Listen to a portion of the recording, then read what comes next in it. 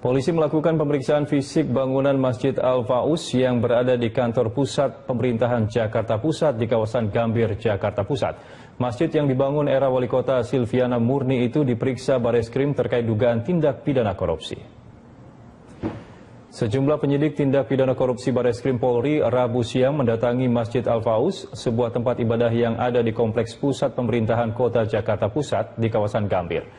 Kedatangan penyidik guna melakukan pemeriksaan fisik bangunan masjid yang dibangun saat era Silviana Murni masih menjabat sebagai wali kota Jakarta Pusat. Diduga masjid yang dibangun pada tahun 2010 dengan menghabiskan anggaran APBD sebesar 27 miliar rupiah itu santer dengan aroma korupsi. Baris Krim sendiri bahkan telah mengeluarkan surat penyelidikan atas dugaan adanya perbuatan korupsi dalam pembangunan masjid di kantor wali kota Jakarta Pusat tahun anggaran 2010-2011.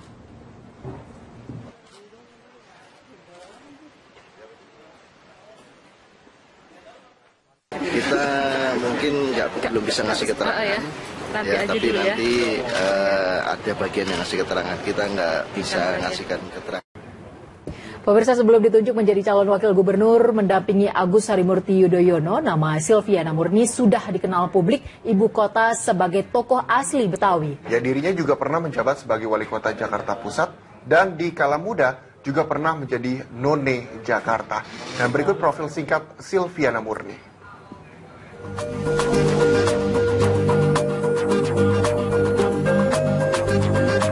Silviana Murni kini telah resmi diusung oleh empat partai politik sebagai calon wakil gubernur DKI mendampingi Agus Harimurti Yudhoyono. Dalam dua bulan terakhir ini, nama Silviana Murni memang sudah santer terdengar untuk menjadi calon wakil gubernur. Sebelum diusung oleh koalisi Cikeas, Silviana Murni bahkan sudah dilirik oleh kandidat calon gubernur dari Partai Gerindra, Sandiaga Uno, dan telah mengikuti fit dan proper test yang digelar oleh tim penjaringan Pilkada DKI Partai Gerindra.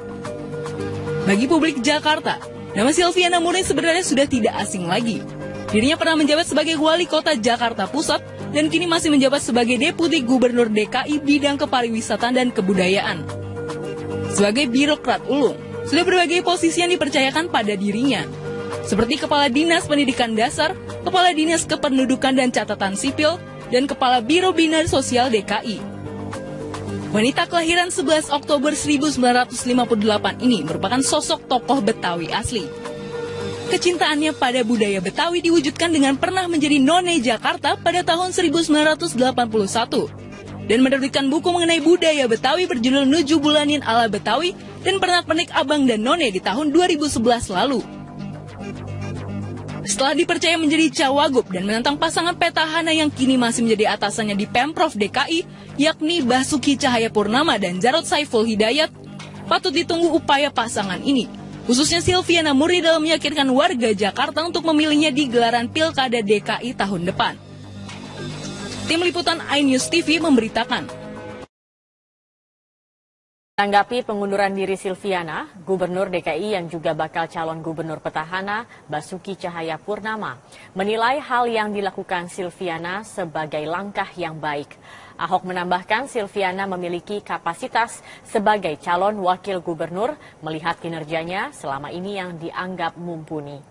Bahkan sebelumnya Ahok sudah mengucapkan selamat kepada Silviana melalui pesan singkat begitu ditetapkan sebagai bakal calon wakil gubernur oleh Poros Cikeas pada Kamis malam. Obsesi saya adalah menjadi pelayan masyarakat di mana pun. Itu obsesi saya dan uh, alhamdulillah Tuhan memberikan jalan yang baik. Tadi juga Pak Ahok bilang, Bu Silvi jabatan itu dari Tuhan. Terus saya bilang, iya memang jabatan dari Tuhan. Yang ya Pak Ahok itu orang profesional ya, jadi menanggapinya juga secara profesional aja, ketawa. Hmm. Ya senang, foto-foto saya sama Pak Ahok gitu.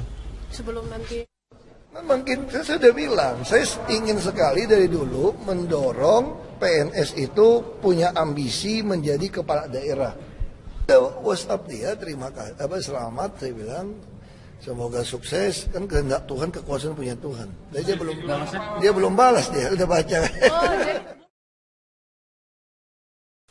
Pemirsa Gede Sarjana, suami Silviana Murni, diperiksa penyidik Subdit Kamnek Ditreskrim Um Polda Metro Jaya terkait dugaan kasus permufakatan makar. Gede disebut-sebut memberikan sejumlah uang kepada Zamran, salah satu tersangka kasus ITE yang juga saksi di kasus dugaan makar. Kabit Humas Polda Metro Jaya, Kombes Argo Yuwono menjelaskan, Gede diperiksa untuk mendapatkan informasi tambahan terkait aliran dana makar. Gede diduga pernah mentransfer sejumlah uang kepada salah satu tersangka kasus ITE yang juga menjadi saksi kasus dugaan permufakatan makar, Zamran. Namun Argo belum dapat merinci nominal uang yang ditransfer.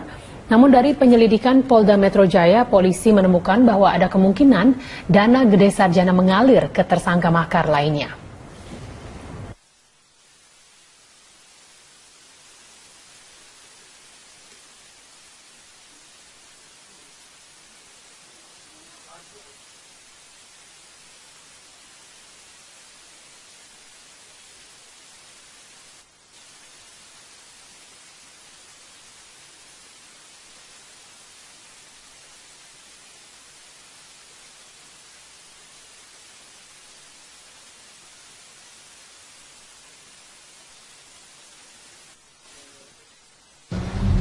Saksi Pak Gede Sarjana.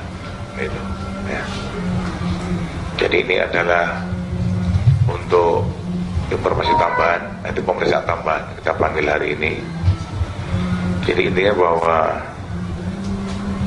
kita panggil karena ada informasi dugaan keterkaitan pendanaan kasus permufakatan makar ya. Untuk tersangka Ibu Ramawati dan kawan-kawan Ya, jika Agus Yudhoyono menemui ibu-ibu PKK, sementara itu calon wakil gubernur Agus Silviana Murni sempat beradu mulut dengan petugas Panwas saat menghadiri pengajian majelis taklim warga di Kelapa Gading, Jakarta Utara pagi tadi. Perdebatan terjadi karena Panwas menilai kehadiran Silviana tidak ada izin. Kecuali kalau kalau gitu izin sama yang punya ini. Bukan sholat. Ayo kita bicara hukum yuk. Yang punya masjid. Yang punya masjid ini. Ayo gitu ya.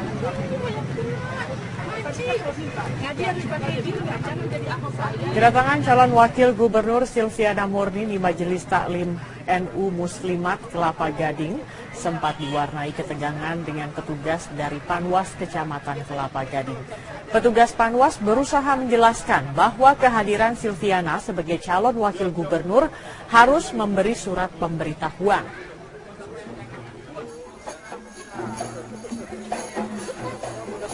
Namun, Silvi mengacuhkan saran petugas Panwas dan tetap memasuki tempat pengajian. Silvi juga menjamin tim suksesnya yang menggunakan atribut kampanye tidak memasuki tempat pengajian. Silviana juga mempersilahkan dua petugas Panwas masuk ke dalam pengajian agar bisa melihat langsung bahwa ia tidak berkampanye di tempat ini. Tapi bagaimanapun gerak, juga kerap kali kita bekerja sama. Pemirsa calon gubernur DKI Jakarta nomor urut 1 Agus Harimurti Yudhoyono hari ini menemui kaum ibu kader pembinaan kesejahteraan keluarga atau PKK di Kelurahan Pondok Labu, Jakarta Selatan. Agus berjanji akan memberikan perhatian khusus kepada kader PKK jika terpilih menjadi orang nomor satu di Jakarta. RW 010 dari RT 01 namanya bapak-bapak ibu tahu tentunya yaitu calon gubernur. Agus menemui sejumlah kaum ibu kader pembinaan kesejahteraan keluarga atau PKK. Pada Agus, ibu-ibu PKK meminta perbaikan fasilitas yang dimiliki PKK, termasuk posyandu, jika nantinya Agus terpilih sebagai orang nomor satu di Jakarta. Agus berjanji jika terpilih, pemerintahannya akan memberikan perhatian khusus pada kader PKK sebagai garda terdepan dalam menangani permasalahan kesejahteraan warga, khususnya perempuan dan anak. Selain itu, Agus juga berjanji akan menormalisasi kali di daerah rawan banjir jika ia terpilih menjadi gubernur DKI.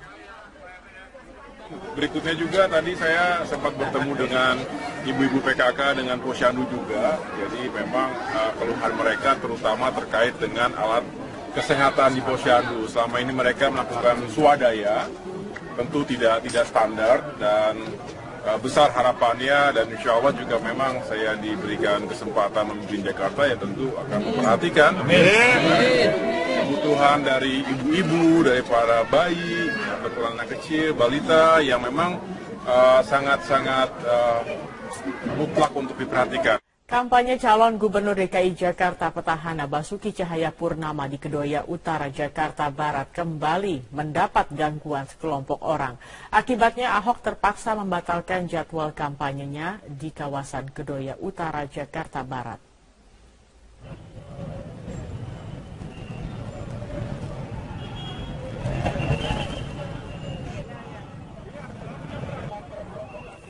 Puluhan orang membawa spanduk sambil menyanyikan yel-yel yang berisikan kata-kata penolakan terhadap calon gubernur nomor urut 2 Basuki Cahaya Purnama.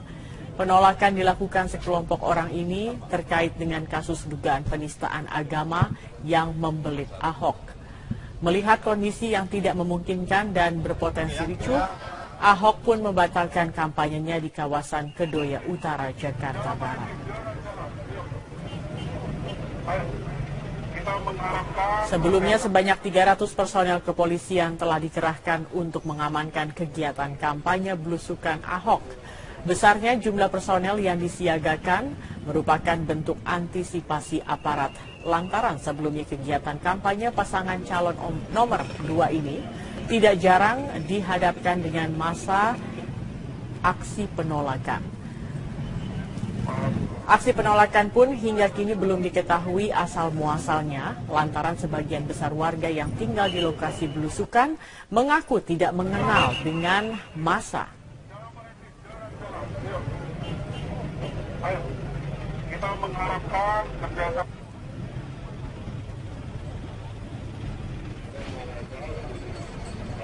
Pemirsa kita akan memantau jalannya pemeriksaan Buniani termasuk juga sejumlah saksi lainnya yang diperiksa oleh uh, Bareskrim hari ini. Kita langsung bergabung dengan reporter Cikal Multazam dan juru kamera Rangga Samudra yang saat ini berada di Bareskrim Polri. Jika silakan dengan laporan Anda terkait dengan pemeriksaan Buniani yang masih berlangsung atau sudah selesai sore ini dilakukan. Yudora pemeriksaan terhadap Buniani sudah selesai beberapa saat yang lalu, tepatnya sekitar pukul 16.00 tadi Buniani telah keluar dari uh, ruangan pemeriksaan Baris Krim Polri. Dan ada beberapa keterangan tadi yang disampaikan oleh Buniani maupun uh, melalui uh, kuasa hukumnya yakni Alduin uh, Rahad, uh, Rahadian yang tadi menyatakan bahwa ada uh, prinsipnya ada delapan pertanyaan yang diajukan oleh tim penyelidik. Kemudian dari delapan pertanyaan tadi berkembang sampai sejumlah 28 pertanyaan.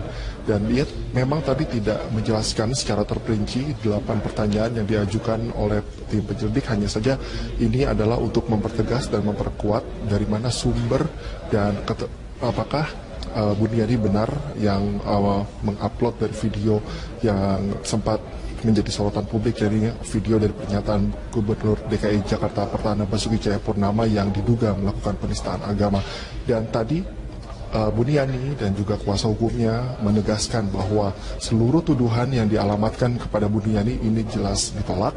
Ia tadi menyatakan bahwa ia sama sekali tidak menyunting, artinya di sini dia tidak uh, memotong adanya video tersebut, kemudian mengedit uh, dari video tersebut yang akhirnya pernyataan dari Basuki Cahayapurnama ini di salah kaprah oleh publik kemudian juga merubah substansi dari apa yang disampaikan oleh Basuki Cahayapurnama. Kemudian ia juga mengelak uh, telah melakukan transkrip dari pernyataan Basuki Cahayapurnama. Ia menyatakan bahwa yang ia tulis merupakan bukan transkrip dari pernyataan Ahok tetapi merupakan asumsi dia sebagai publik yang juga memantau uh, jalannya dan juga uh, bagaimana kinerja dari Gubernur DKI Jakarta Basuki Cahayapurnama saat itu masih menjabat sebagai Gubernur DKI Jakarta.